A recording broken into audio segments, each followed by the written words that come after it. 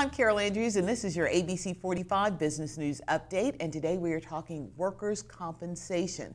Accidents happen while people are, are at work. David Daggett of Daggett Shuler is with us today. And, and, and what constitutes, I mean, we understand you can trip, you can fall. What do you do? An injury in the course of employment comes under the workers' compensation laws. The number one thing to do is report it to your employer and seek proper medical attention do you always need to go to the company's doctor? Because i hear i hear all the time people say i went to the company's doctor they said i'm fine. That's the initial thing you need to do. But if you consult with a lawyer a lawyer can help you weave through the medical process as well as the claims process. And what's really important is the workers compensation laws are to, there to protect you and your family economically when something like this happens.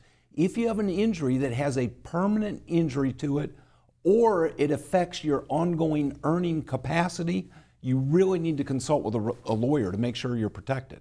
And, and there are lawyers that do this more than others. Not everybody is a workers' comp lawyer. That's correct. And in fact, we have lawyers, all they do is handle workers' compensation cases, and they're looking out for your interests. Those laws are tricky, and the insurance company's not on your side. All right, so we'll be watching. Thank you, David Daggett, for joining us today, and thank you for joining us for this ABC 45 Business News Update.